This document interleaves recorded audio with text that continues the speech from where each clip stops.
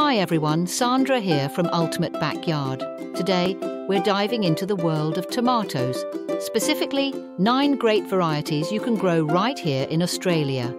From the classic beefsteak to the intriguing Tigerella, we've got a lot to cover, so let's get started. First up, we have Amish paste. Perfect for those who love making their own sauces and pastes, this variety also works great in salads. It grows tall, so make sure to have good staking ready and if you're a fan of big tomatoes, beefsteak is your best bet. These giants can grow up to 1.5 metres tall, so staking is a must. Moving on to a unique variety, black cherry. Not all tomatoes are red, and this variety proves it with its almost brown coloured fruits when ripe. It's a productive cropper, so keep it well trained. Roma tomatoes are surprisingly easy to grow. They are determinate, meaning less pruning. They ripen all at once, perfect for making tomato sauce. Tommy Toe is a prolific variety, growing apricot-sized fruits over a long season. It requires heavy-duty staking for support. Before we continue, I just wanted to ask that if you are finding this video helpful, please click the like and subscribe buttons. It's the best way to support us. Okay, back to the video.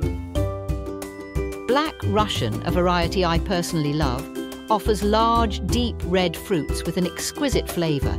It grows tall, so staking is essential to support the heavy fruits as they ripen.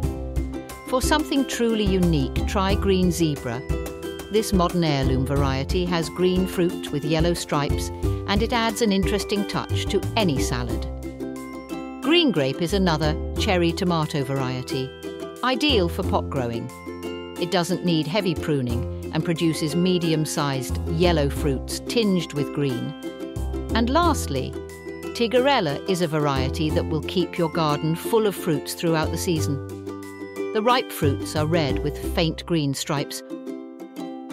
Growing your own tomatoes is a rewarding experience, and with these varieties, you're sure to find a favourite. Remember to check out our website for guides on how to stake and prune as needed and you're sure to have a bountiful harvest. Thanks for joining me on this tomato adventure. If you have any questions or if you've tried growing any of these varieties, leave a comment below. I'd love to hear about your tomato growing experiences.